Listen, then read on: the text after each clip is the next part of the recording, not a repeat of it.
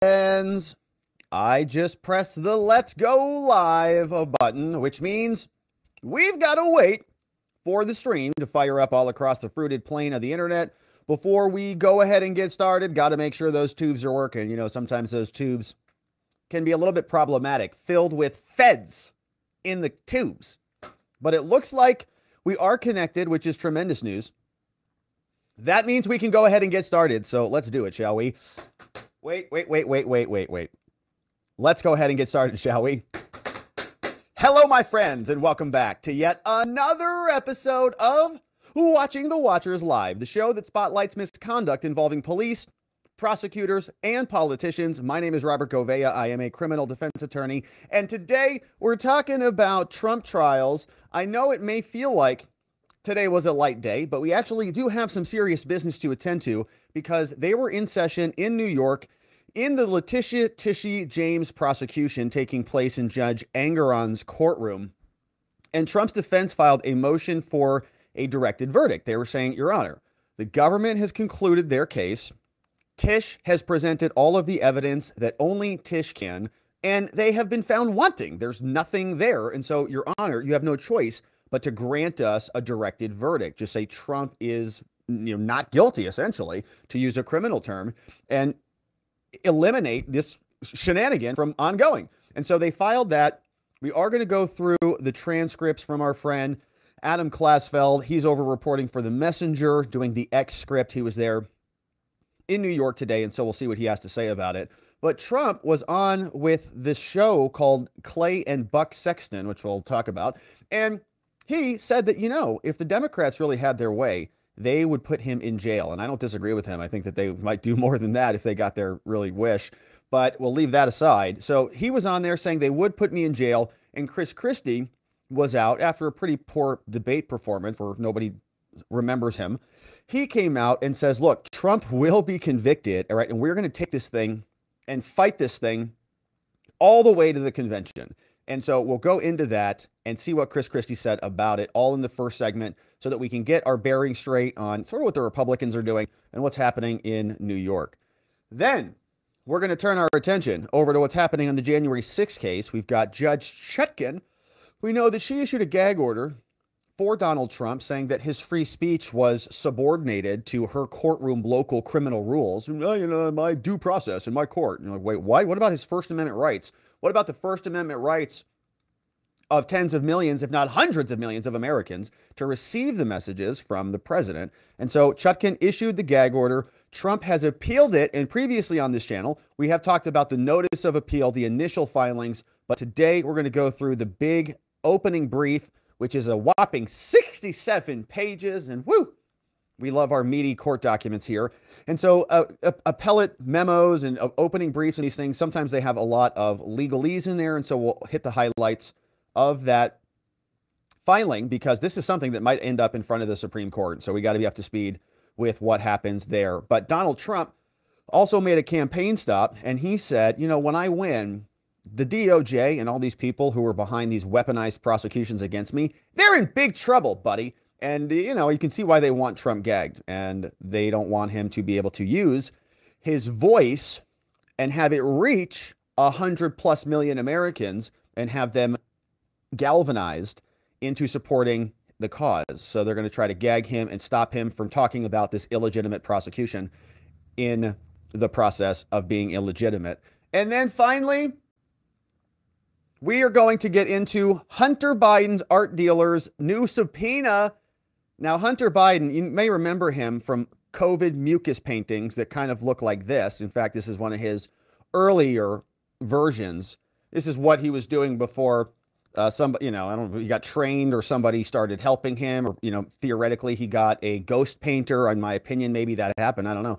But something happened, and he is now, you know, selling his paintings for like a lot of money. And some people are wondering why that is because we know that art can often be used for money laundering because it's very hard to value and people can just buy it for whatever and then sell it for whatever and it's tax write-offs and you put it in different safe harbors and we all know the deal. So we're going to go through this. Yeah, it looks like kind of like COVID or something there or like an STD from one of his romps.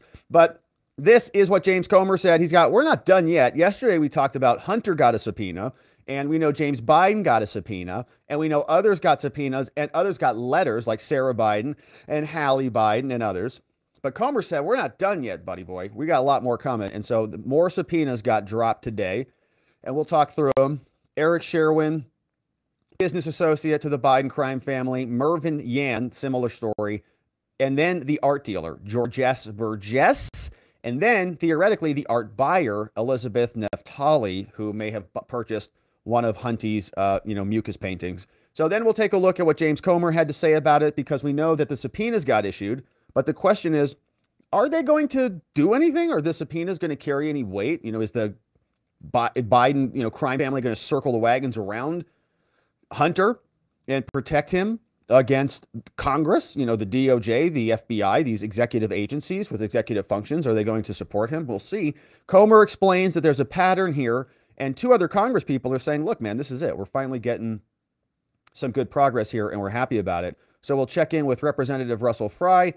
He's over from South Carolina. And then we've got Byron Donalds, who's going to say, hey, you know, Hunter, it's not a good idea to not comply with legislative subpoenas because we know what happened the last time some people didn't comply with legislative subpoenas. People like Steve Bannon got prosecuted. People like Peter Navarro are still being prosecuted. And so we'll see if any of that happens. We'll also check in, see what the White House has to say about it with Karine. Probably not going to be saying much because it's Karine. If you have, um, I'm going to refer, if you have the word refer you to someone, on your bingo card, probably a safe play. And so, my friends, as you can see, we've got a lot to get to today. We are excited that you are here and joining us. It is a beautiful Thursday. Week is rocking and rolling. Can you believe it's the 9th already? Like, what the heck, man? We got Thanksgiving in like two weeks, which is going to be fun. And so, we're going to get to a bunch of stuff today. This morning, on our Membo only stream, we had a great stream. We were talking about the debate last night and really what happened with Vivek. He kind of came out and was throwing some elbows out there, you know, left and right. And it was a lot of fun. Played a lot of clips of that and did a full debate debrief with our members only community. And so we love having our members only morning streams. We love our Saturday shows. We love our after parties and debriefs after this show is over. And so we really try to deliver for our members.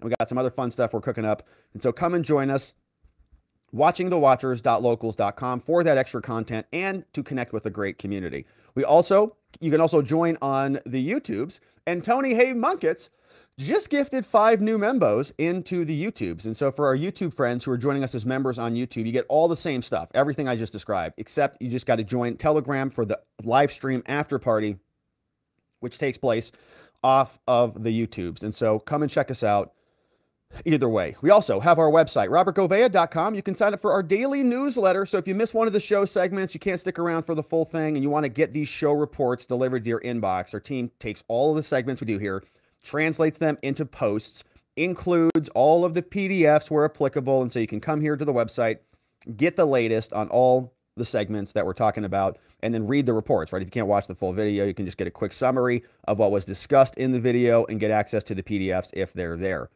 And uh, obviously, we appreciate you signing up for our newsletter. That way, we can always stay in touch. You just click click here for instant access, sign up to the newsletter. You can also check us out on all the different audio platforms as well. So that's where we'd love to see you, robertgouveia.com. All right, now, without any further ado, it's time to get into the show. Starting now. Let's do it. Donald Trump warns, saying they'd put me in jail if they had their way. And I don't doubt that for a minute. I think they'd do a lot worse if they could. But he's talking about the Democrats and the onslaught, lawfare. We have a bunch of different criminal proceedings we're covering here. We also have the civil proceeding, which is borderline criminal. I mean, the sanctions that would be against Trump are so punitive. They're talking about taking away a quarter billion dollars away from him and taking away his property and his businesses out of the state of New York. It's insane. But we are finished with the government's case in chief, Letitia Tishy James's case, and we are still not done yet. We have one motions hearing that we're going to talk about today where Donald Trump's defense team filed what's called a request for a directed verdict saying that the government finished their case their presentation is so terrible that even if you found in their favor, Judge, it's not enough to meet the threshold. In other words, uh, they didn't meet the elements to even prove a claim. And so you have no choice but but to give us a directed verdict without us even presenting one shred of evidence. And so we'll go through the trial proceedings there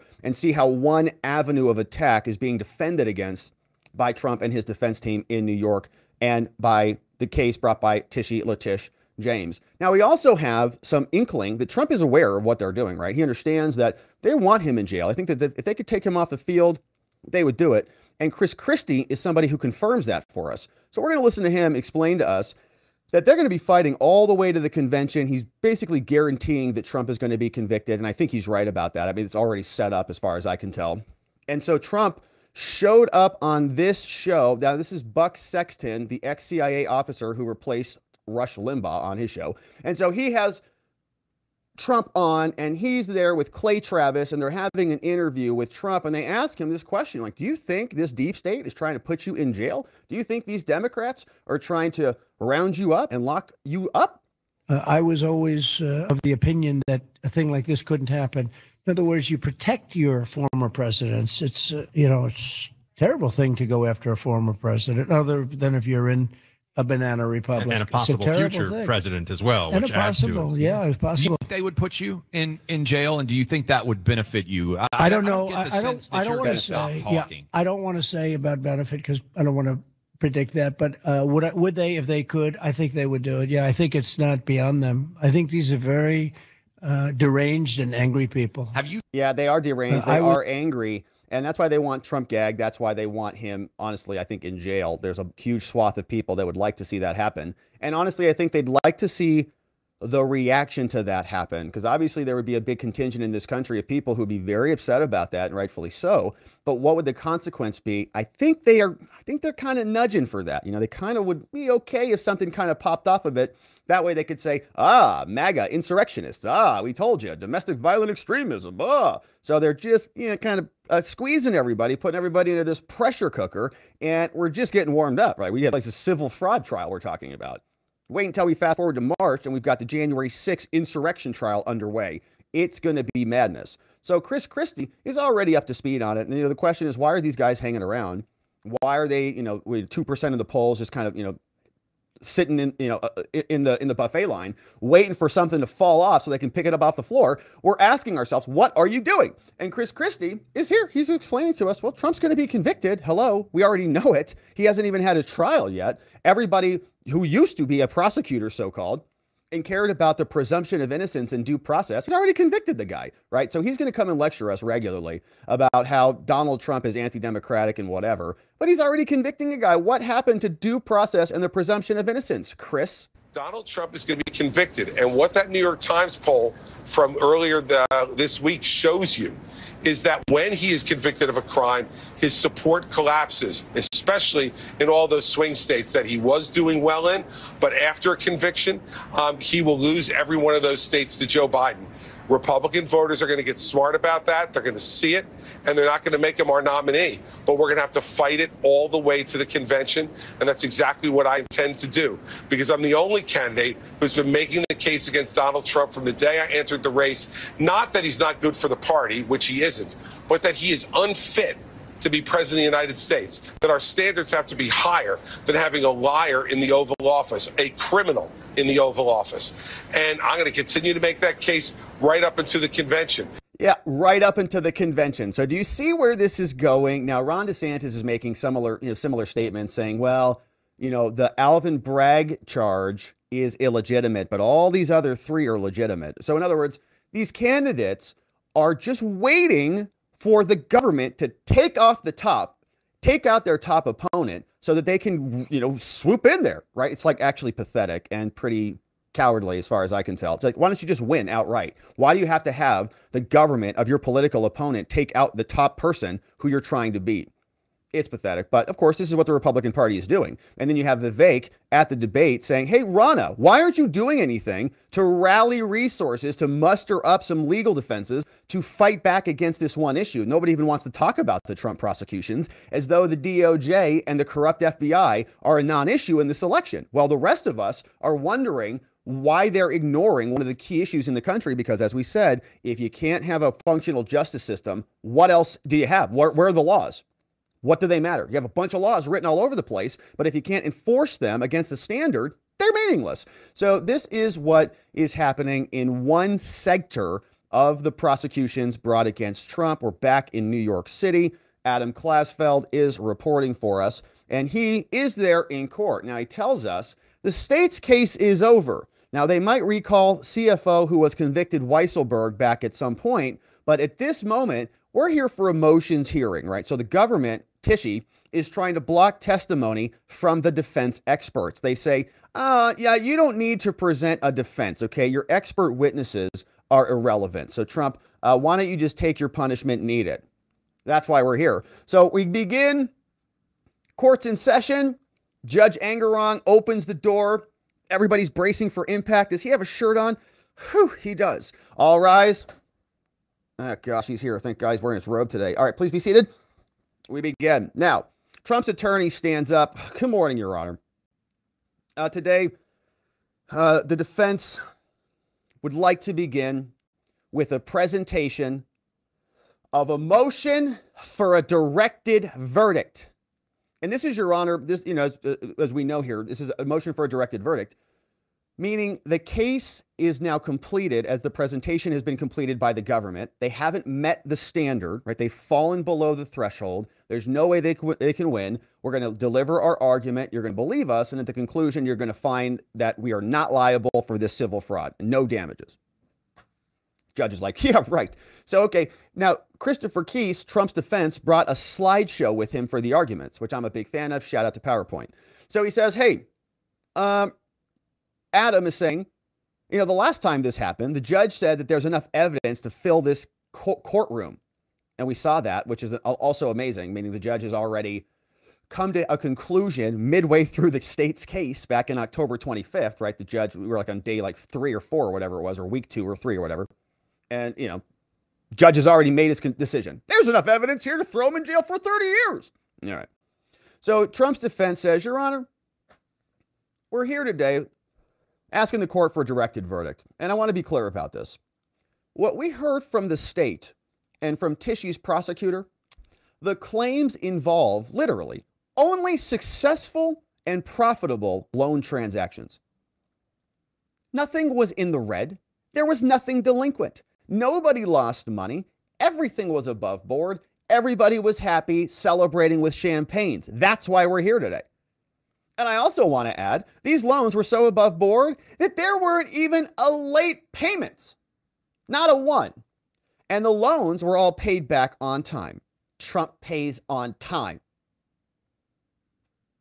He says, Your Honor. And so, quite frankly, we're here. There's no victim in this case at all. There's no complainant. There's nobody even upset here that we're fighting for, so called.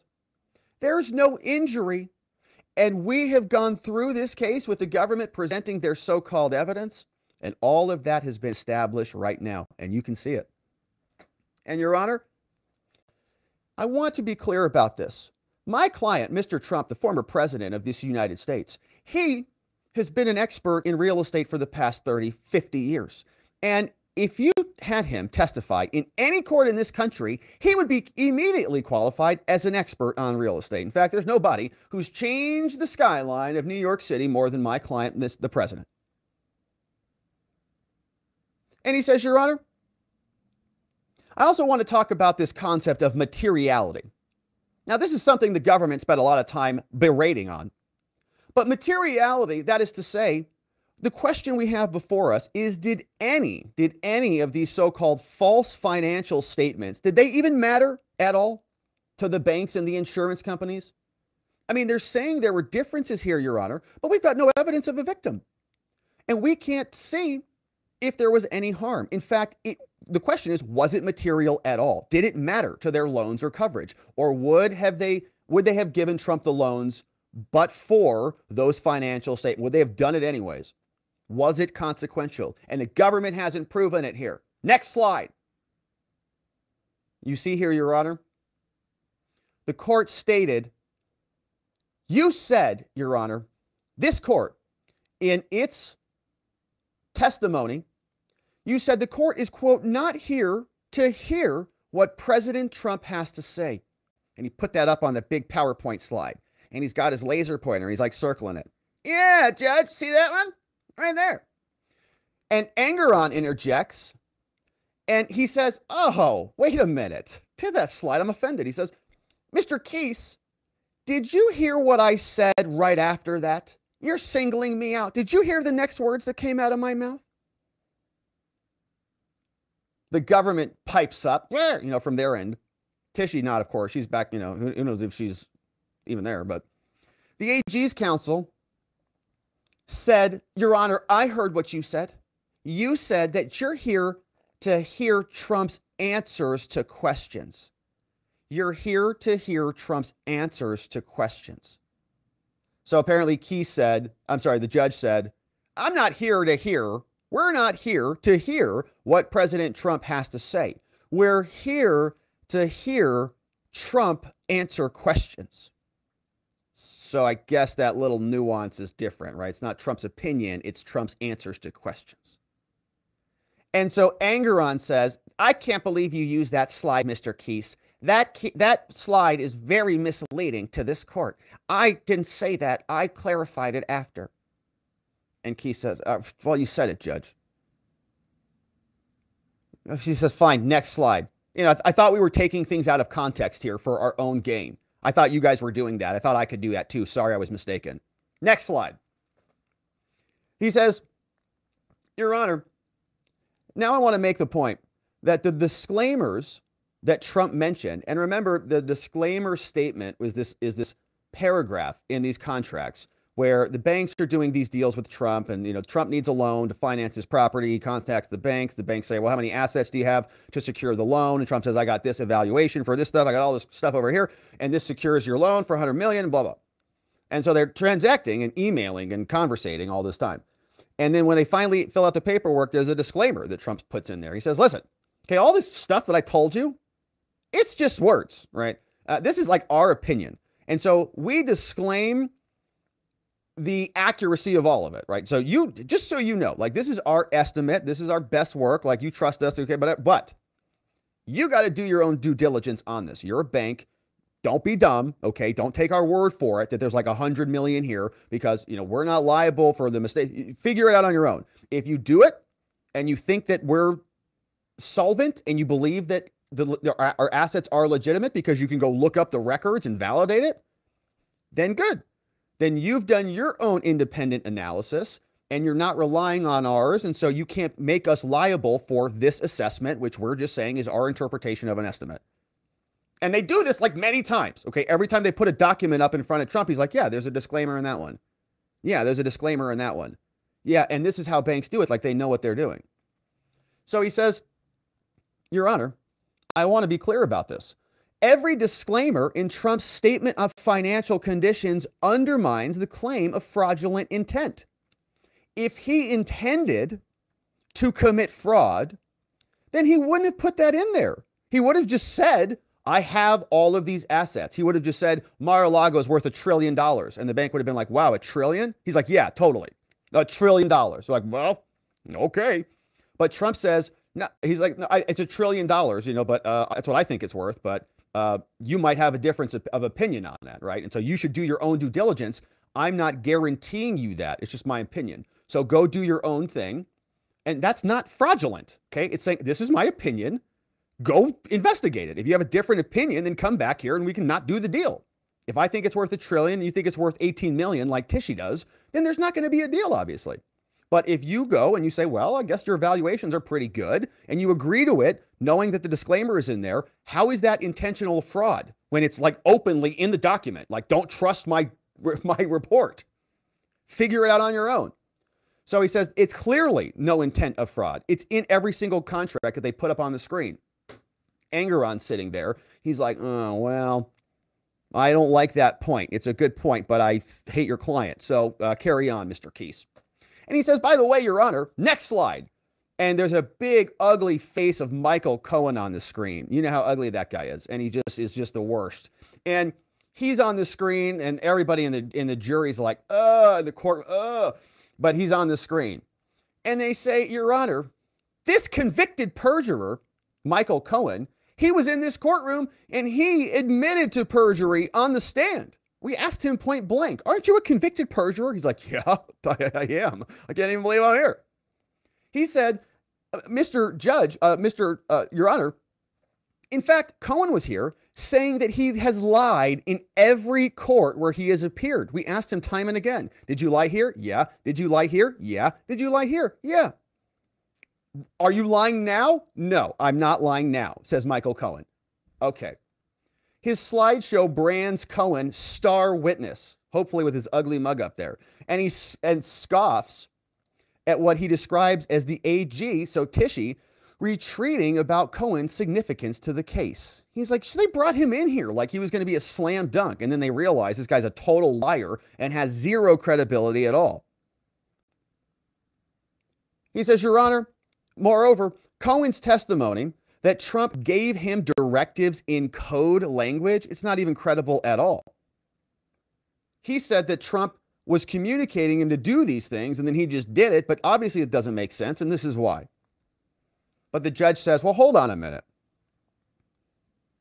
He says, What I think, I think Cohen's claim here is conceptually the same as the scandal that brought Trump's first impeachment he says, you know, I think the perfect call to Zelensky might be a code, he says. And I don't know what the heck that has to do with anything in this case, but the judge is going back to the first impeachment with a phone call, which was illegitimate based on the Russia, Russia, Russia hoax. And Zelensky, he got a call. All right. So they continue. Keith says, next slide. Your Honor, Next, as we know, Tishy Latish and her prosecutors here today, they have not presented a single shred of proof that the banks in this case would have awarded loans for these projects if the statements of financial condition were different. Saying that Old Post Office and 40 Wall Street, if the statements of financial condition were different, they haven't shown that the banks would have awarded the loans. He says, in fact, Your Honor, they continue doing business year after year after year. So they did a deal, the deal worked out. They continued to do their due diligence. So they're making their payments on time. This is looking good. Let's do it again.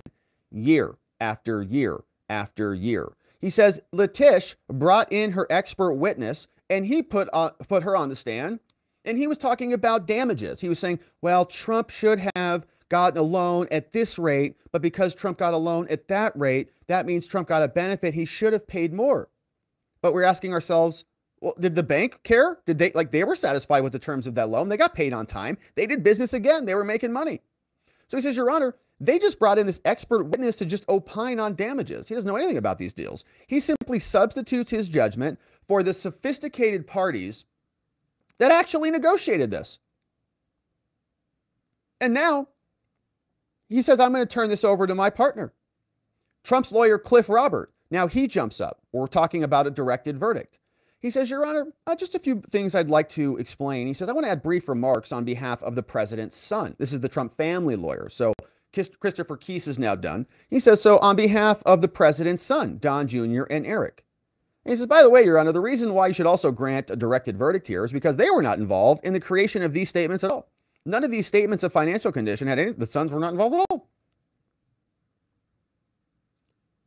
And that's all I have to say, Your Honor. The judge looks over at Alina. Alina stands up. Your Honor, I've got brief remarks that I'd like to deliver for the defendants says we've got Allen Weisselberg, Jeff McConney were also individual defendants. And Alina says, Your Honor, I just want to be clear that there are many different people here, and we ask that you look at every individual defendant separately, individually. Your Honor, thank you. Anything further from the defense, says the judge. Ugh, you guys, Trump lawyers. Uh, he's got a headache. He says, okay, perfect. My friends are up. Hey, government, Tish, you're up next he he throws this you know funny little gesture out there, little jest. He says, "Will there be an opposition to the motion for a directed verdict?" Obviously. Government stands up, says, We will certainly oppose it, Your Honor. Oh, very clever. Just yeah, get to it already. Just oppose it. He says, Your Honor, I want to be clear about this. This is a documents case. This is Tish's prosecutor, not Tish, obviously. She doesn't do anything in this case. This is a documents case, he says. And each of the three defendants signed documents stating that they were responsible for the information inside the documents and statements of financial condition. Says that's the graveyard the defendants keep whistling past. Oh, gosh. Go write a novel or something. Engoron says, uh, let me ask you a personal accountant. Let me ask you, a personal accountant, the judge says to this government person. Do you file tax returns? Wallace says, Yes, I do, Your Honor. Of course I do. I love paying my taxes. I'm a government bureaucrat. I think everyone should pay their taxes. He says, asked if he uses accountants, Engoron says, Do you use accountants to file your taxes? He says, No, I didn't use accountants, but Trump did. What the heck is going on here? So he says, Did Trump rely on those accountants at that time? So he used accountants. So he's, he's sort of getting into it with this guy. Uh, do you file tax returns? Wallace says, yeah. Do you use accountants? He says, no, I don't, but Trump did. And so Trump relied on those accountants at that time, right? And Wallace, the government says, yeah, he did. Yeah, he did rely on the accountants, but he's still responsible for those returns. He said, if I gave my accountants false information, I'm liable for that if the returns are fraudulent. So they're saying if Trump gives the accountants the false info, then you're liable for the accountants, right? You can't give the accountants false info and then the accountants do what they think is right and then you blame the accountants for the false info. No. But if you give the accountants the correct info and then they give the false info, then they're responsible, right? So who's responsible for the info? So they say, so Trump gave him the false info and so he's liable for that. And the judge is like, oh, I get it. Thank you. That's how I'm going to get him. Perfect. So Trump's defense stands up. He's, uh, Kise says, Your Honor, quite frankly, what we have here from Tish's office is like throwing spaghetti against the wall to see what sticks. And Engoron says, Hey there, easy, Kise. You got to be careful talking about spaghetti around lunchtime. I'm hungry. Speaking of that, it's a morning break. So the judge says, I've got meatballs on the brain. So he then runs out and does something. And we're back. We got a 10 minute break and we come back. Now we're back, and the government is saying that the state should benefit from a streamlined trial. So this guy, Andrew, stands up. He says, Your Honor, we should benefit from a streamlined trial that should flow from their pretrial victory finding Trump liable for fraud. In other words, you've already settled most of this case. And so let's just get it over with. Like, just give us the damages. And Christopher Kise, Trump's defense lawyer, is not happy about whatever that was. He immediately jumps up, launches into personal attacks against Tishy's lawyers. He says, You people are just the worst. We're here. You've been railroading our client for these past several weeks, and now you want to fast forward this and not even give my client due process? You guys are a piece of works. And the judge says, Hey, Kise, calm down over there. That's unbecoming. You should apologize to them for insulting their feelings for, for, for when they violate your client's rights. Kise says, I'm not apologizing for anything. Deal with it. And so we're going to come back to that. Adam's going to report on that one. That sounds juicy. So then, okay, so then here's what happens. Case stands up. He says, You know what, Your Honor? I can't believe they're making this request. Tish's government prosecutor, he should get out his phone and, quote, check the internet. In fact, he may want to go check out Russia because Vladimir Putin has some openings for you over there, buddy. And he says, I hate Putin. I have a Ukraine flag in my bio. Judge, help. And the judge says, Hey, don't make Putin jokes in my courtroom. Don't get Putin with me. And then he says, Apologize, Mr. Kise. And he says, No. He is Putin's little stooge. Why doesn't he go work with Vladimir? And Engoron, he says, Kise, I will not have McCarthyist throwback language like that in my courtroom. And Kise says, I don't care. Your Honor, he's a communist. Send him to Russia. I think it was totally uncalled for and totally incorrect. so apparently, Kise was saying send him to Russia. He says, You can't say he's a communist. You can't say send him to Russia. That's totally uncalled for. And that's totally incorrect. And Kise says, okay, well, maybe he shouldn't go to Russia. He walks that statement back slightly. Like, okay, maybe we're not going to send him over to the to the Russian front line. But he is a communist, and he's been making fun of me. He's been calling me names, ad hominem attacks his entire trial. And he says, yeah, maybe I shouldn't have slammed him back, but he is a little, you know, commie. And by the way, he says, and by the way, Judge, these communists here, the whole world is watching. All right. The public is entitled to hear from all of our defense witnesses, and they're trying to keep four of our expert witnesses out of this case. This is a communist show trial. Maybe he should go work for Vladimir. And the government stands up and Amer hammers this point. He's like, I'm not a communist. I support Zelensky.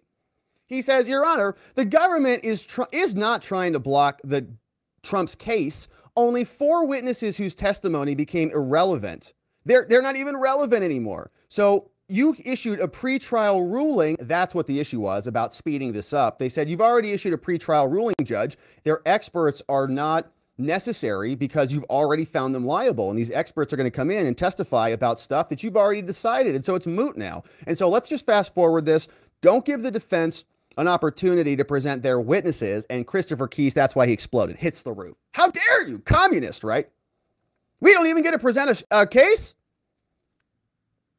Judge says there's no goose or gander rule that the judge, he says, you're, he says, you've been hitting our side for this entire trial. And now you're trying to say, and, and, and the, the government continues, they say, Your Honor, and just because all of our witnesses got in, it doesn't mean that all of their witnesses get in. Okay. Just because we got a full opportunity to present our case doesn't mean they do. There's no goose or gander rule here that you need to sustain the equivalent number of objections. You can uh, just object them uh, and sustain our objections and overrule theirs all day. And uh, and so far he's not taken the bait about the Putin comment. And so they have a lunch break. The judge goes and gets his meatballs. We're back. So Christopher Kise comes back. He says, Your Honor, sorry, I was just a little hungry. I'd like to come back and I want to apologize for telling the government to consider a job with Vladimir. He said, I, Your Honor, when you're right, you're right. I want to apologize on the record. I definitely shouldn't have said that Amer should go work for Vladimir Putin. Should not have said that he's a communist. Definitely shouldn't have said that. Just want to clear that up on the record. The AG says, I accept your apology. Slava Ukraini, Ukraine. he says, Engoron says, it would be prudent to let the witnesses in.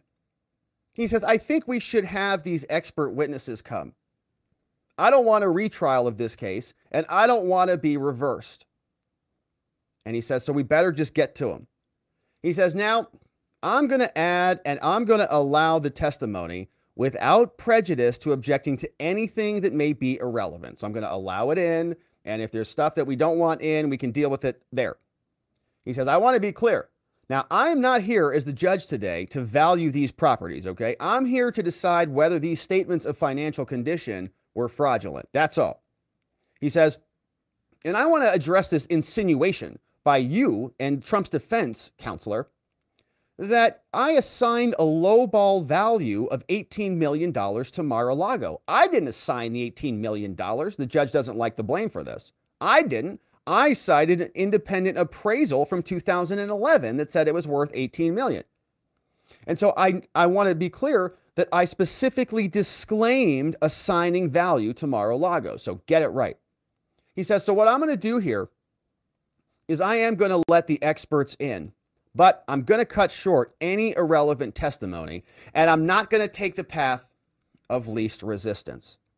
And so we stand adjourned today. He says, I'm going to take the directed motion, the, the directed verdict motion under advisement, which means I'm going to go think about it and rule on it.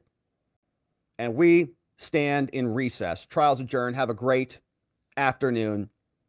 We're done for the week. So they'll be adjourned. They will not be back tomorrow. And then I think the government is going to be done. We'll see Trump and his defense start their case next week. And so, my friends, shout out to Klasfeld Reports, Adam Klasfeld. Be sure you're giving him a follow at Klasfeld Reports for doing the great reporting. We're grateful to have his transcript, his excript here on the platform. He does reporting as the senior legal correspondent over for the Messenger. Also, previously worked for Law Crime in other areas. So be sure you're following him, doing great work. Thank you, Adam, for the great transcript and for the reporting. But that, my friends, is what's happening in New York. And so we're going to see what happens next week when Donald Trump's case begins in full. We'll be here to cover it. I hope you join us as we do. And of course, if you miss anything here, you can catch all the reports and all the segments on our website at robertgouveia.com. Sign up for our daily newsletter there so this stuff gets delivered to your inbox because there's a lot of Trump trials happening. We don't want you to miss a thing. We'll see you there and here on the next one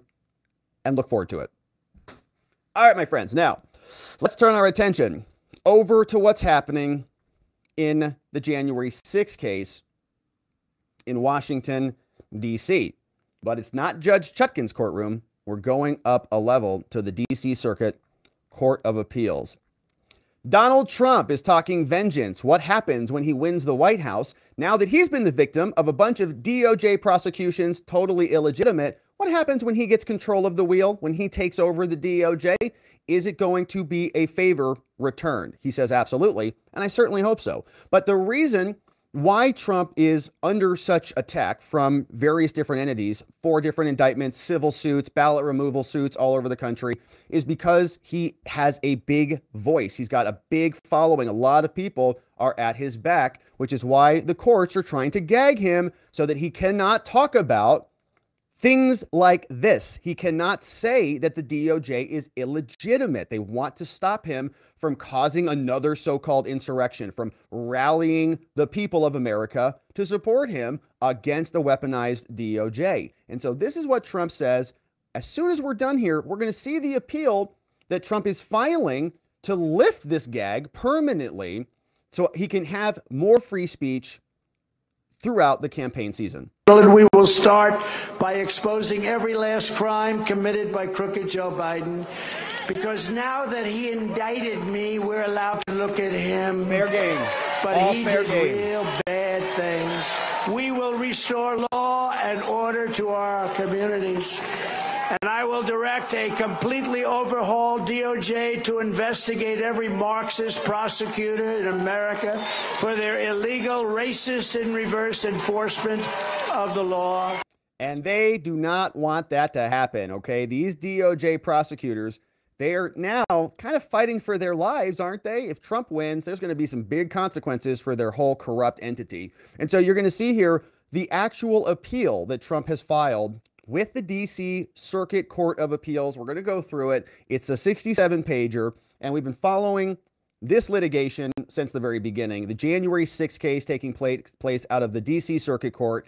This is on appeal, and we're going to be scheduled for oral arguments in this case on November 20th, 2023. So be sure that you're subscribed so that when we cover the oral arguments and see what the Court of Appeals does, you can join us on it. But this is the big filing. It's a 67 pager, as I mentioned.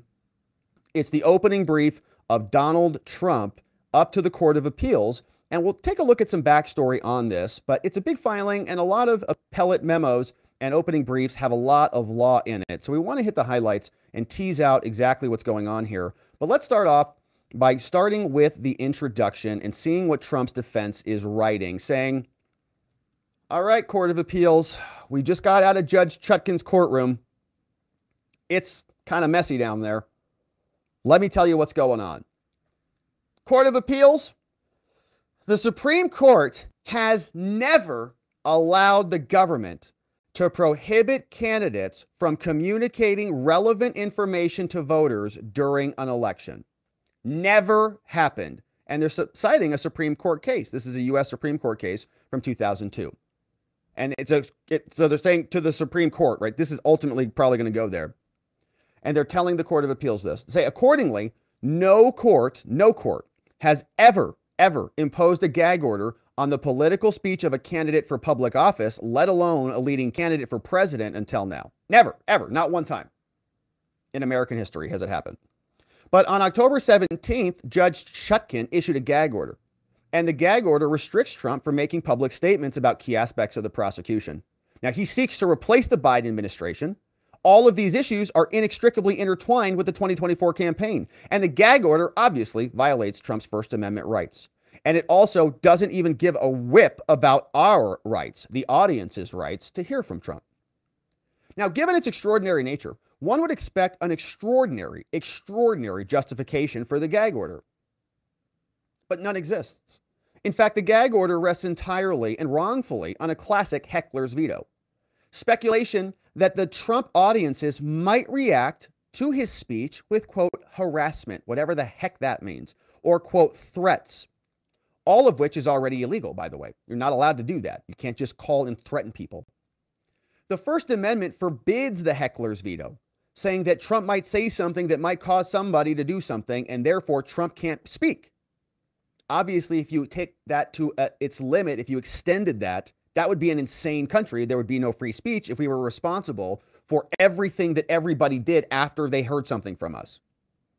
So they say even if it were legally viable, which is not, there's not even any evidence that supports any of the actual threats or harassment in the first place. Saying Trump has made many public statements about this case in the three months since he's been indicted, many statements. But the DOJ has submitted no threats, they've submitted no harassment, any actual evidence that this has occurred to prosecutors, witnesses, witnesses, or anybody. Instead, the prosecution themselves even admit, they say, quote, of course, this prejudice is speculative, but we're worried something might happen, and so we have to gag him now. They say, court, a prior restraint cannot be based on speculation. The court cannot silence Trump just based solely on anticipation and uh, of the reaction of his audiences. Saying Chutkan lacks the authority to muzzle the core political speech of the leading presidential candidate and saying Trump is entitled and the American people are entitled to hear his political messages and saying the gag order should be immediately reversed. Now, they tell us what is happening, sort of the jurisdiction, how the court got the case. They ask these two very important questions, and this is always fun on appeal. We try to ask ourselves specifically out of all these 67 pages, what are the two questions that we're trying to answer here? Number one, Question Whether the gag order violates the First Amendment rights of both Trump and tens of millions of Americans to engage in and hear the core political speech in the middle of a presidential campaign. So, his right to speak, our right to receive. And two, another issue, whether the gag order is unconstitutionally vague, so void for vagueness. Two issues. They're going to ask the Court of Appeals to respond to this. Is this unconstitutionally vague? Simple. Yes or no. Or is it going to be does the gag order violate the rights of yes, both, no, both, or yes, one or the other on the first question? Trying to make it almost logical, like programming. So they give us the statement of the case. They say, all right, Court of Appeals, President Trump is the leading candidate for president of the United States. Even polls are showing that. New York Times, CBS, Siena. He holds dominating leads in polls for the Republican nomination, and he holds a substantial lead over Biden in polling. He's got over 100 million followers, and his public statements reach far and wide. Now, Trump, as we know, was indicted, supposedly, for, quote, obstructing official proceedings and, quote, defrauding the United States. But the indictment in this case and the issues surrounding it are inextricably intertwined with the campaign for reelection. One commenter described the issue surrounding the indictment as, quote, central to Biden's reelection argument. And Trump is literally being prosecuted by the person he's trying to beat at the ballot box. Trump's opponents, including witnesses, routinely attack him. They say Trump's not fit to be reelected. They say the conviction should disqualify him. And Trump responds to these statements and says that this is intending to interfere with the election. Now, on the day that the indictment was filed, the special counsel prosecuting Trump gave a speech during a press conference falsely saying that Trump's responsible for the attack on January 6. Now, this statement, they say, egregiously mischaracterized the indictment, and the special counsel drove negative headlines about this indictment. So, in other words, Jack Smith came out and said a bunch of stuff about Trump that was not actually in the indictment. And the media went with the things that he said, which were not true. Like, didn't even charge him for crimes for that. So, before and after the indictment, there were a long series of leaks of confidential information, all of it meant to smear Trump. Witnesses also can attack Trump. Mike Pence, Bill Barr, Mark Milley, all of them going all over the place, saying Trump's term would be a horror show, says Bill Barr. Mike Pence made similar statements before his failed campaign. And while this case is pending, Trump is engaged in core political speech, responding to his critics. He routinely posts statements about this stuff. He described the indictment. He said that, they're trying to take away his free speech. But none of Trump's statements, not one of them, constitutes a threat, nor fighting words, nor incitement, nor anything advocating for imminent lawless action. And so the prosecution did not contend that they fall outside of the First Amendment or that they are part of an exception to the First Amendment. And the district court did not find that. But instead, Jack Smith moved for a gag order. But they didn't contend that Trump's comments were actual threats. Instead, the motion just gave several examples of some individuals who claimed that they got harassing, threatening communications back in 2020, years ago. The prosecution provided screenshots of Trump's social media posts calling for a federal takeover. And the prosecution said that this could possibly impact the jury panel when he was talking, or the witnesses talking about little Mike Pence and other things. But the DOJ and the deranged thugs over there at Jack Smith's office, they didn't present any evidence that any prosecutor or any potential witness had actually experienced any threats or harassment at this time. No statements uh, by Trump or any court staff that showed that they were the cause of new harassment. They re- filed their reply, but it didn't include any actual evidence. It's all speculative. No actual evidence that any individual actually felt those threats. And so in October, the court held a hearing on it, and they said that they might inspire third party agents to act. When the defense team asked Judge Chutkan, when they said, Chutkan, the government has submitted no evidence to substantiate its concerns about harassment or intimidation. The judge responded, Well, why should they have to submit evidence? Uh, because you're a court. That's why. And when the district court asked the government, they said, Well, why don't you have any evidence? They said, Well, it's speculative. I mean, we're speculating. Now, they wanted to postpone the case until after the election, until things cool down. But the judge said no, like we are going to trial in Jan- in March because we need to. This is the only way we're going to try to stop Trump. I think it's going to backfire on him, but that's what their efforts are. So then Judge Chutkan held the hearing, issued the gag order, and made their determination. They said alternative measures like jury questioning are not sufficient to remedy everything, and so they've got to gag Trump. They, the court specifically said, I'm not giving any weight to the fact that you're conducting a political campaign. Said, I don't care about the election. I only care about our trial. And so Trump here is now in front of the court. We filed our notice and motion and opening brief in our appeals. And here is what they say Your Honor, at the court, the gag order violates Trump's rights and 100 million Americans' rights. He's got a fundamental constitutional right to spread his core political speech and message as do the audience. The gag orders are violating our rights. And because it violates our First Amendment rights, it's invalid on its face. Any restriction on speech requires a clear and present danger to the administration of justice. Clear and present danger, not speculative. And this is also Trump's campaign speech that's being gagged, which is some of the most protected speech in the whole country because that is how you change the system is by campaigning against the government. In fact, you can't sue the government when the government does something bad. They say no. You have to, I mean, in most cases, unless you're directly harmed, they say you have to go fight, you have to go vote. It's a political issue. It's not a legal issue. So if you have a specific claim, for many cases in this country, the only recourse is by rallying people to your cause. And in order to be able to do that, you got to be able to speak. The gag order's sole justification for the gag is that Trump's speech might, quote, hypothetically lead unidentified independent third parties to subject prosecutors and potential witnesses and court staff to harassment. This is a classic heckler's veto. It's exactly what it means. Under the First Amendment, speakers are not chargeable with danger when their audiences might react. The government cannot censor the reaction to the speakers by, because of the reaction of the speaker's audience. The gag order is invalid on its face, face or at the very least subject to strict, very strict scrutiny that it cannot stand. Saying the prosecution made no showing that the gag order was necessary. When the gag order was entered, the case had already been pending for three months. Trump had been talking about it for a long time, but there was no evidence of threats. Trump had been saying stuff since the beginning. Nothing changed. The gag order also gave no meaningful consideration to, to more less restrictive measures, and they didn't find anything about it.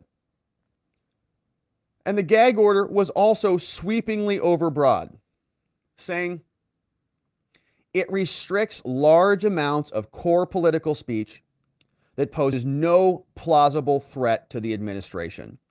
It's a heckler's veto. It silences public criticism of public figures. It stops Trump from responding to people who openly attack him in media, in political debates, in books. It's impermissibly one sided. Trump's opponents can attack him without restriction, but he is silenced from responding in kind. And it's also unconstitutionally vague. It doesn't satisfy exacting standards of clarity. The key operative word is a target a range of meanings here. We don't know who is a reasonably foreseeable witness. Trump can't measure his conduct against that because there's 13 million pages in this case. And the government doesn't even have a witness list or even a list of potential witnesses. So we have no idea how big this is. So Trump is left only to guess what a reasonably foreseeable witness is and who that might be. And it also says Trump can't talk about the substance of their testimony, which is also also indeterminate. We can't know what it is, especially months before the trial. And so the judge says that there are carve outs that we can have general criticism of the government. Isn't that nice? They gave Trump some permission to communicate his grievances against the government. Us general, though. Don't make it too harsh, okay? Our feelings might get hurt. President Trump must therefore guess when criticizing those deranged thug prosecutors.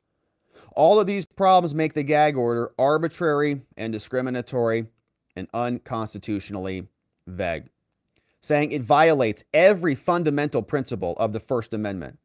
It's invalid on its face. And they're going to give us a lot of law here. So we'll fast forward through a lot of this, but you can see. It says it's not a clear and present danger. In this case called Landmark Communications, SCOTUS told us we have to have a clear and present danger. It has to be a high standard.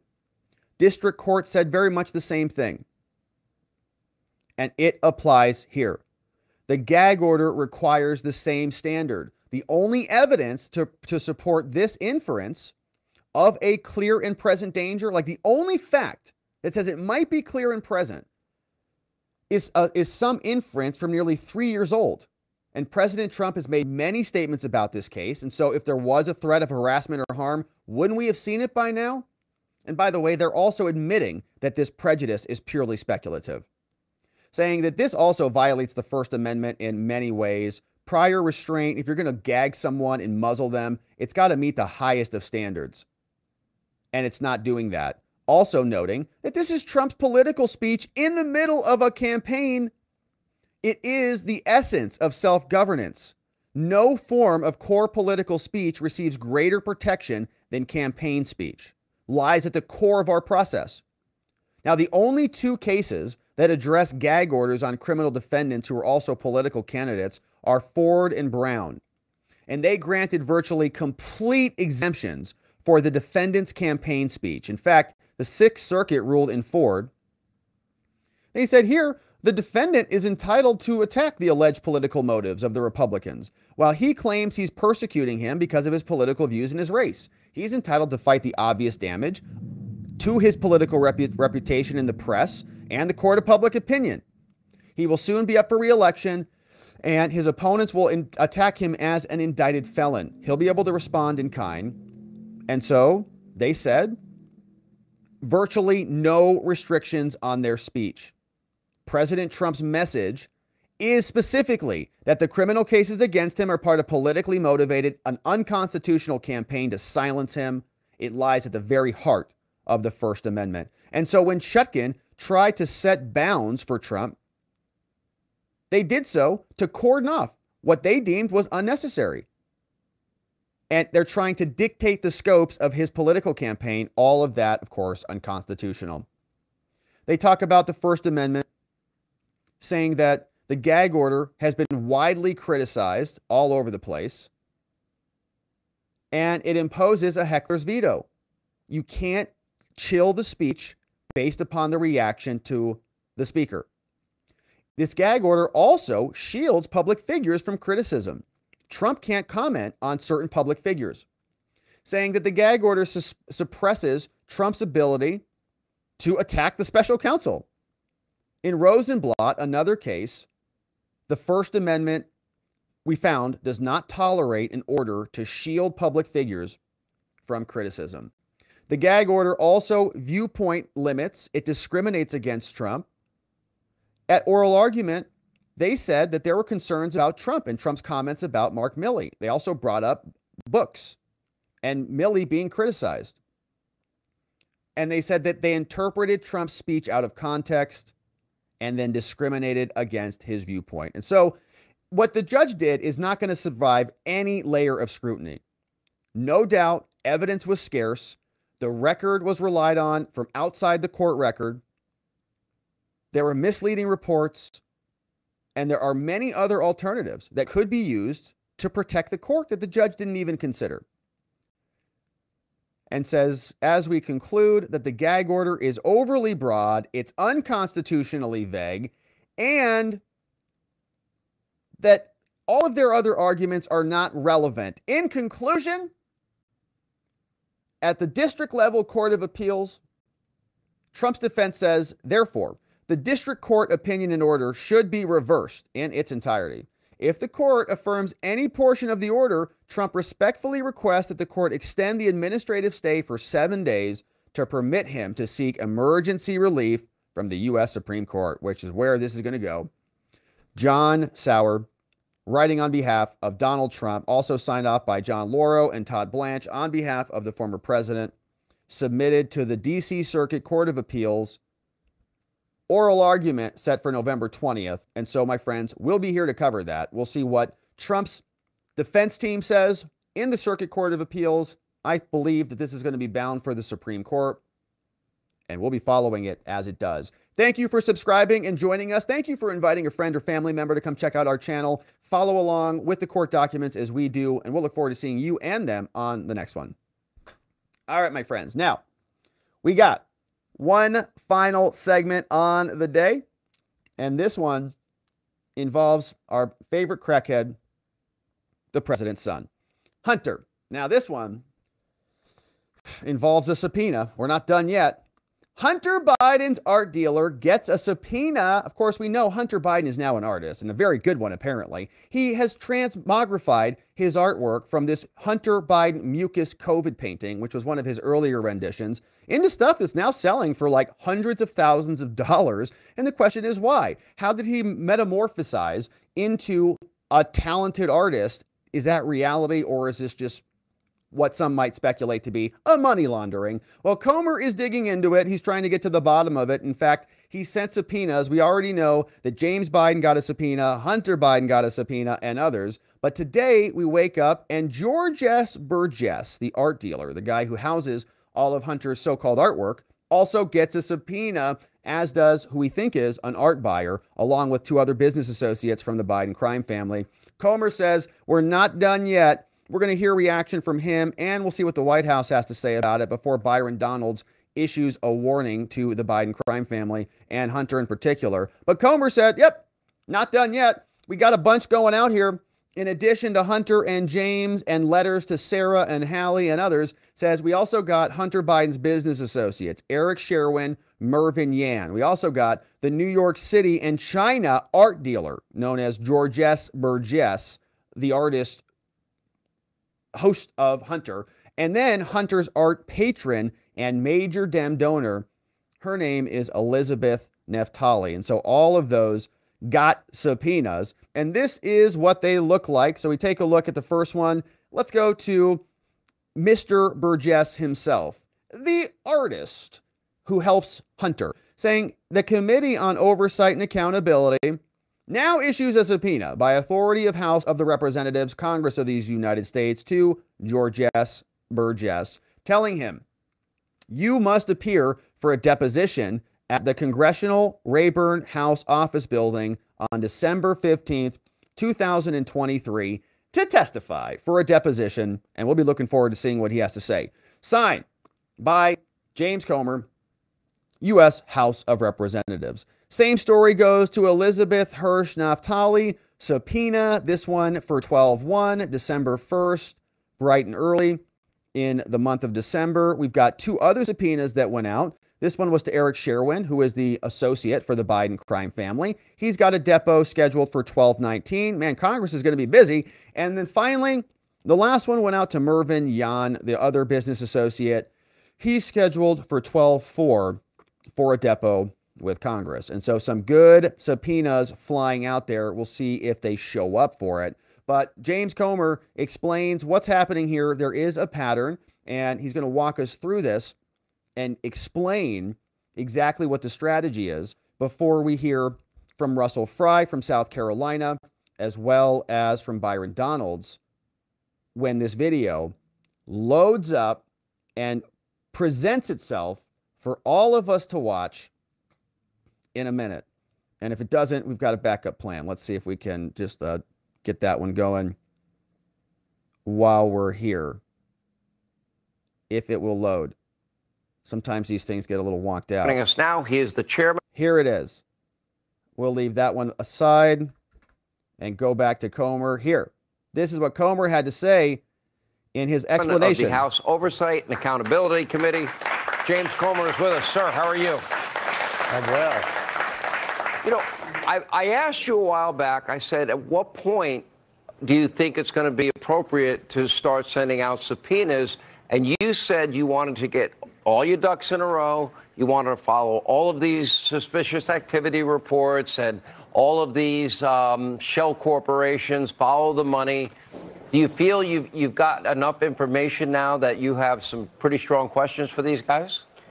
I do. I think we're at the point now where uh, we can connect the dots. We understand what the scheme was. We understand who the people were who were wiring the money. We believe we know why, but we want to hear from the Bidens. And uh, we're at the point now where the evidence is overwhelming. And now we can bring the Bidens in and ask them substantive, specific questions about things that uh, we have serious concerns about. How many shell corporations have you been able to discover through your investigation that the Biden family had? Over 20.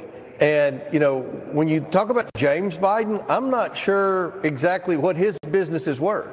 Uh, but with respect to Hunter, uh, we're, we're confident that these businesses did not produce a good or service. And we really have no idea what they did uh, especially considering the fact that uh, they would go months without any revenue, and then all of a sudden a, a million dollar wire from a foreign national would appear. Uh, and then the next day they would start the laundering process where they would wire money from account to account, from shell company to shell company. Uh, you know, we see a similar pattern with Jim Biden, but we want to ask Jim Biden exactly, you know, what did you do? Uh, what what are all these transactions in your so-called business and what involvement did your brother have in these shady business schemes? Let me let me go through the timeline of Burisma. We know that Hunter admitted on GMA that it, he had no. All right, so that is the conversation with Hannity and Comer, and so Comer says we got some good information. We're going to keep digging into it. Here is Karine at the White House. She got asked about this. It was just breaking, saying that, hey, uh, Karine, the president's son and the bro got subpoenas, and the rest of the fam's also getting some too. They're getting letters for transcripts and uh, depots and other things. Any reaction? The House Oversight Committee has issued subpoenas for um, Hunter Biden, James Biden, and Biden family business associate Rob Walker. Do you have a comment on that? So look, as you just mentioned, it's just breaking, uh, so I don't have this information in front of me. I'm just hearing from you. Uh, certainly, I would refer you to any uh, of the, the, personal representatives on on this uh, on on your question. But I will have to say something that I've said many times. Uh, this is an investigation uh, that has been going on for a year now and has turned up zero evidence of wrongdoing by the president. Not sure about because that. Because there is none. but Republicans continue to double down on a baseless, a baseless a smear campaign against the president and his family. All right, baseless. We know that word means usually true. So Karine's doing the same thing, doesn't have much information, refer you to someone else. Congress not buying it. This is Representative Russell Fry from South Carolina. He's saying we've got a lot to go on. We're just taking our time. And we've talked about this the timeline. When will it crest? When will we see the full capacity of the Republican investigation come to the climax. Hopefully, it's not too soon before it can have maximum impact during the election. Because why? They're going to be doing the same thing. They've got the March 3rd trial for the J6 case. They want the May classified documents case. Fani might have her RICO case some in there, somewhere in there. Time will tell. But here's Russell Fry explaining they've got an alternative strategy. Everything that we've done up to this point for 10 months uh, has been the culmination step by step, crossing every T, dotting every I, and now subpoenas are finally released uh, and so the Biden family is going to be spending a lot of time through Thanksgiving and yeah. the Christmas holiday in front of the House Oversight Committee. Yeah, a, a winter of depositions and stench with Hunter Biden walking into the congressional courtroom. A winter of deposition and stench. Yeah, well, Congressman, according to pre- this press release here, the Biden family and their business associates and their companies have received over $24 million from foreign nationals over the course of approximately five five years. That's a ton of money, including millions of dollars from China, Russia, Ukraine, Romania, Kazakhstan. I mean, whose side are they on? Right. I think that's the, the, the, big question is what services, again, and this is why it's so important to have them come in. What services did you provide? What things did you build or widgets None. did you create? Nothing. My estimation is nothing because we haven't seen anything from the Biden administration, from the family that leads us to believe that. But we see transactions, particularly transactions most troubling from overseas, where it's kind of laundered through multiple companies before it ultimately ends mm-hmm. into the direct pocket of Joe Biden himself. All right. So they're digging into it crossing the T's, dotting the I's. And Byron Donalds also has a little bit of a warning over for the Biden family. Here's what he says. They've now been subpoenaed by Congress. So if they choose to ignore a congressional subpoena, there are legal remedies for that. I would not recommend that to Hunter Biden or to Jim Biden or anybody else in the Biden family. If they believe that what we are saying is false, well, then there's an opportunity to come and prove come that and in. actually discuss that, whether it's going to be through depositions or whether that's going to be through testimonies to the committee or whether that's going to be in open committee hearings. They can make that case very clearly. So if they have nothing to hide, I don't know what the problem is. Look, I think what's going to happen is we're going to try to get some transcribed interviews with several people surrounding the Biden family who are either been tied into some of these account names, money has moved to them or through some of their bank accounts. We want to be able to do that and then corroborate that information with bank records and financial documents that we have gone through the process of gaining access to. And so I think that's going to take probably a couple of weeks to a month to sift through all that because people are going to need their time to do this work, being very careful, being very precise, wanting to make sure that we get the record absolutely correct. Nice. So we'll see if they get any progress made. They got a bunch of depositions scheduled. Subpoenas have gone out now to a whole slew of people. We had three yesterday, four more today, all going after the Biden crime family and their associates. And the question will be do they show up? If they do show up, do they plead the fifth? And Hunter just says, I got an open criminal case right now. I'm not talking about anything. Or the Biden crime family saying, uh, James Biden saying, We've got an open criminal case, right? I was maybe under investigation by the FBI. The problem is, if they do that, then people can rightfully turn around and say, Well, I thought you said it was innocent. I thought these were just loans. And maybe the right to remain silent is not useful in the criminal court. Like legally, you can't use a person invoking their right to remain silent against them. But you could infer guilt in a civil case. And of course, the American public can, can clearly infer guilt because Trump doesn't get the benefit of the doubt, any presumption of innocence, or any due process at all. And we know that the DOJ and the FBI has been covering up for Hunter and the Biden crime family, going so far as to warn them about warrants being executed for Hunter storage facilities so they could clean it out. And so this is going to be a saga that continues. The subpoenas are going out, the depositions are being scheduled. We'll be here to continue to cover it. And I hope you do join us and follow along as we get into it. Thank you for subscribing, my friends. Thank you for liking this video wherever it is you're watching it. We've got a lot more to attend to, and we'll look forward to seeing you on the next one. All right, my friends. Well, that is it for us on the day, my friends. And so we covered some good ground today. And here is what is in the House. We covered Hunter's art dealer and congressional subpoenas and Byron Donalds issuing a warning. We talked about Trump saying revenge, revengeance is coming and filing the DC Circuit Court of Appeal opening brief, which we'll see what the government says in their response. And then lastly, Trump is saying they're going to put me in jail. And we had some good trial X scripts over on the X platform, courtesy of Klasfeld Reports, who was telling us what was happening inside the courtroom with those communist Russian Putin stooges inside uh, Tishy's office. But now, my friends, it is time to hear from you. And we're going to go over, of course, to our members only after party at watchingthewatchers.locals.com as soon as we're done here, saying thank you to your support and your donos. And man, we got a re- we got a couple really big donos in the house from Marion Holtzman. Marion, I've seen those uh, hanging up there this whole show. Thank you so much for those, man. Extremely, extremely generous. And so we're going to say hello to everybody in the house. And we're starting the day off with Tony Hay Munkets bringing in some new members. Five new members. Renee G, Dan D, Narsos is here. Cynthia C. We got B Dubs is joining us. And thank you, Tony Hay, for bringing in five new members to our YouTube members. And hey, YouTube members, join us for the members only after party on the community tab section on the channel homepage. Keep scrolling down a little bit and you'll find a community members only post that has the private Telegram link. Grab it and join us. That's where we do our uh, after parties for our YouTube members. Otherwise, we'll see you in the morning. See you on Saturday.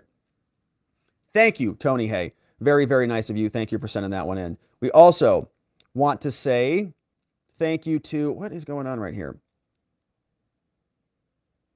My windows are all discombobulated. As I know, I know how I know we all know how that feels. Spuds is here. What's up, Spuds? Says Rob, wasn't Christie's Bridgegate scandal criminal? I don't know the answer to that. I think it, it could have potentially have been criminal for Christie. I mean, I don't think he got charged with crimes. Did he? I don't know. That was a little bit of time ago. I'm not real sure. We'd have to double check on that one, but it's a good question, Spuds. A bad poet, and thank you for the don't know, Spuds. A bad poet says Chris Christie still being a member of the Republicans is another great reason. Ronna McDaniel should be fired. Happy almost Friday. A bad poet in the house. It's good to see you, a bad poet. Well, I think they're probably friends. I, you know, I don't know. I don't know if they go out to dinner together or what. B man says the president already lost with Judge Joker, but will win on appeal. All this is so Tishy can stand at the podium and say, "I kept my promise." From B man over on the tubes. Thank you, B man. Yeah, I, I'm hopeful about that. I mean, I'm hopeful that as we get out of this like kangaroo layer, you know, this kind of ridiculous elected judges layer, we get into court of appeals, we get into some federal courts where we have, you know, the problem with the elected positions is there's really no there's no disincentive to be political because you just have to be political to win reelection. As long as you do that, you're good. So if you've got a, an elected Democrat who's a uh, an AG, an elected judge who's also a Democrat. Like it's, you know, there's a lot of opportunity for collusion here if you want to, you know, take an axe to your Republican opponent, which is what they're doing. Thank you, B man. Very nice of you. We got this one from a bad poet. Says, "Are you going to start the Trump lawyer fan club?" I don't think so. No, that's not on the agenda. I don't know that there's that many lawyers who are Trump fans. I mean, most lawyers are far left, honestly. Like lawyers are in general as a category vote Democrat in massive troves. But he needs a he needs a defense team. I don't think he needs a fan club. He needs a Trump lawyer defense team is what he needs, is what would be useful. And thank you, a bad poet. It's a good idea. This one from Marion Holtzman. Marion, you sent two of these in today, my friend. Extremely generous. I'm very grateful to you. Thank you for those. Says Marion says, "Thank you for your daily updates. I am sharing you on X on the quote left posts to combat their misinformation. Keep up the good work. I appreciate you doing so." And Marion, really thank you for that. Very very generous. And honestly, thank you for sharing the post as well. That is extremely extremely valuable. And that's that's part of the strategy, Marion, is what we're trying to do now. So on X, we are posting our segments and we're also posting the shorts, but we're turning the shorts into horizontal. So we're trying to do like one minute snippets where we can just hit some of the highlights of the show. And so that we can, you know, we can share those around. I think that, I, you know, I think it's important. I know it's self-serving to say like share this stuff, but I think that if, if more people could see what was happening, you know, not read the article about what Politico says happened or what the New York Times says happened, but if they could see and like hear what the judge is doing and see what the documents say from the defense perspective, I think that you know that type of information is is useful because a lot of people just don't know. They just see the headline, "Oh, Trump's got convicted, indicted again. Oh, Trump, Trump, Trump." But if you unpack it all, it really I think can help, you know, awaken people to the truth, to the reality. And so, Marion, extremely generous. Thank you for being so generous, for being so sherry on the X. Doing good work out there. Yeah, and, and you know, we're, we're trying we're trying to like be prolific here. We're trying to produce a lot so that there's a lot of ammunition, you know, political informational ammunition so that that's possible. To just oh no, here's the document. Oh no, here's somebody explaining. Oh no, here it is. And you know, all day, every day, it's just like want to want to be consistent, want to build in almost like an assembly line to just keep printing responses to their lies and and help wake people up. And so, Marion, you're a part of that. Thank you for helping to support us with your nice dono and your amazing shares. And Sportsfish, man, another really nice one over from Rumble. Says, keep up the good work, Rob. The team loves your show and appreciates your efforts. Thank you, Sportfish. Sportfish, a membo over on the Rumbles, also sending in a very nice dono. And thank you, Sportfish, man. We're keeping it up. We are going to keep on getting started. And we were talking about this, you know, this is just this is just, I think, the early stages of, of, of where we're going. I mean, this this next year, like we are we are less than 12 months away from the election. Like, did you like it's November 9th. One year from now, less than 365 days from now, there is going to be another election, and we probably are not going to have an outcome on that day. I just, you know, everybody's going to uh, fight over it. So, but we'll have a lot more knowledge about this. And so it's like go time now, you know, it's go time. And it is it is, I think, important. You know, like just you can even just re-upload it on your X account. Like it's not about necessarily. It's just about spreading the. I just want people to to know what's going on, right? It, you know, I just want people to know. So, Sportsfish, thank you for that. We're going to keep grinding on and having some fun as we go, and thank you for it. Marion, another very very nice one. Marion, man, I'm humbled by your generosity. Thank you for it.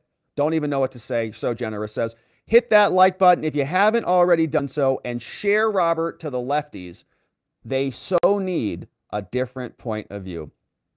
And that's what we're trying to do. You know, we're trying to invite people to come and join us, explore these topics, have a little bit of fun, see things from a different perspective. And so trying to mix entertainment with with, you know, education and with some actual primary source documents so that people can can can see it from a different angle. And your support, the donos, the sharers, the community that we're building, like it re- really wouldn't be possible without you. So, Marion, again, extremely generous. Thank you so much, sir. I appreciate it. This one came in from Box Lane Productions, and I'm grateful for all the donos, my friends. Extremely grateful. Thank you for sending these in. Box Lane Productions says it looks like Hunter was using money laundering to express himself. Well, I don't know what. Yeah, that COVID painting, it looks like mucus or like mold, or the other thing is like a bowl of milk or something. He had some like other paintings that look like, you know, uh, just gross stuff.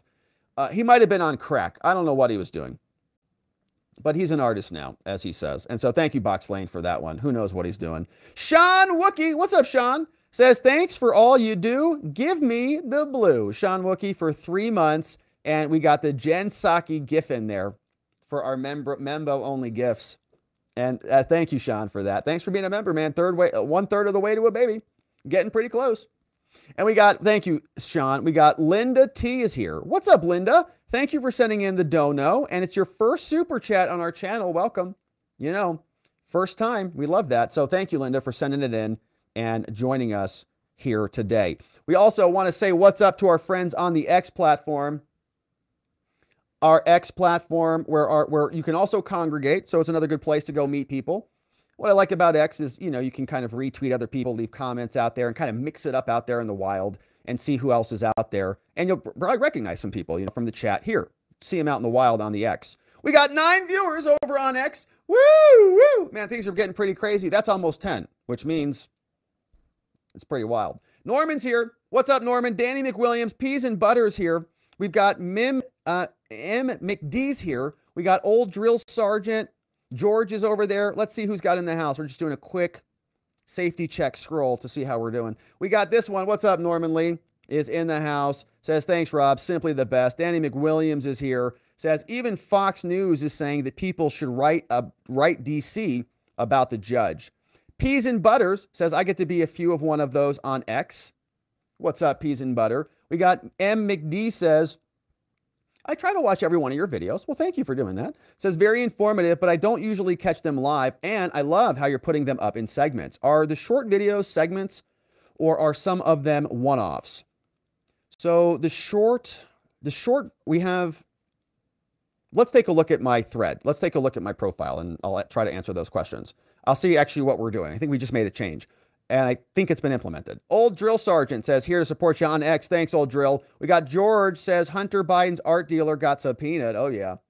Says it's a money laundering uh, operation, says Steve Davis. Says the agent from China or Ukraine wants a contract, and the funding says Hunter does the painting for you. He'll paint a nice painting for you, and he'll also do some other things since his dad's the president, you know. Lightbright is here. Says move all agencies out of DC, distribute them across the country. Only way to stop corruption. It says let all chance all citizens have a chance to participate. And George is sharing this one. Looks like some good polling numbers out of some of those battleground states. Look at that image of, of Joe. Huh? Oh? Oh, what's going on? Am I the president? Yeah. And so let's take a look, my friends. You can, of course, follow us on the X platform at Rob Gouveia ESQ. This is our profile.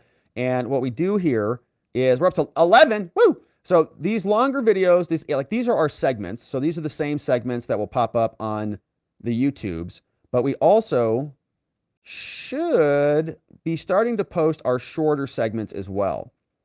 Yes, and we're also doing some time codes and also linking to our website now. So that's curious too. Yes, okay, cool. We're linking around. Okay, so here like 7 minute segments. So like this segment is from the morning stream. Okay, so you can tell because I'm not wearing a collared shirt. So if you see if you see one of these segments come out, that means that I, I we recorded that during our membos only stream, but we teased out a segment out of it. So uh, another 12 minute one. That's another one from the morning, right? So so if you're not a membo, you still get some of the membo com- content. We just record that stuff live, and that's kind of how you can tell what's going on. So we're really trying to also make it easy to spread the information around, trying to make the PDFs accessible on the website so you can download those and share those trying to SEO the website so that we can get reach from Google, right? Tr- trying to build an informational infrastructure because we've got a lot of stuff to talk about in this next election. We're, we're, we're making some good progress. And so check us out. Also, you can join the Watching the Watchers community on the X platform. It's right here. And and we're figuring out what to do here because it is, uh, I think, still under construction by Elon. As you can see, it's not even really loading up. John McCarvey's over there. We got Nikki Haley. What? Uh, Ukraine? Yeah, yeah, that's right, Nikki. All right. So uh, that's our community. Come check it out. Watching the Watchers.locals.com is another place to join us to become a membo, which is where we record a lot of those those streams. And so, my friends, that is it for us on the day. Thank you so much for the very extremely generous donos today. I very much appreciate them and I'm grateful for them. We are going to wrap it up. Go over to watchingthewatchers.locals.com for our members only debrief. We'd love to see you there. YouTube membos, grab the Telegram link in the community tab section on the channel homepage. We'll see you there. Don't forget to sign up for our daily newsletter. at robertgouveia.com, where you can get the daily show reports delivered to your inbox with links back to the website with PDFs. You can also get access to this mind map at robertgouveia.com. So if you want to navigate around or check the archives or learn how to use the mind map to, so you can mind map your own stuff, if you sign up for the newsletter, I created about a seven minute mind map tutorial video to show you how to use it. And you can get access to that if you want to just check it out and see how it all works. So, that, my friends, is it for us on the day. We are going to leave it there. I want to thank our mods and meme smiths who mod down the fort for us and keep things nice and orderly, including our friend VNT Kiss Prime, who's clipping away for us today. Thank you, V. Along with K Bean in the house, we got Just Cause, playing hooky, our friend Ronnie Cole. We got Zulus here, Beyond Geo Stars, Zach Nichols, John Allen's in the house, Janek 909, Dog Digger, and Donut Mind Me, all modding the fort down for us, along with K Bean and Zach Nichols on the day. We got our meme smiths, Jigum Gigum, Nathan N810, and Sleepy Dog Lee all memeing down the place, and we're grateful for everybody who makes the show possible. But that, my friends, is it for us. Tomorrow is a Friday, and we need to see you right back here so that together with your help, we can shine that big, beautiful spotlight of accountability and transparency down upon our system with the hope of finding justice Make it a beautiful night, my friends. Sleep very well. I'll see you right back here tomorrow. Bye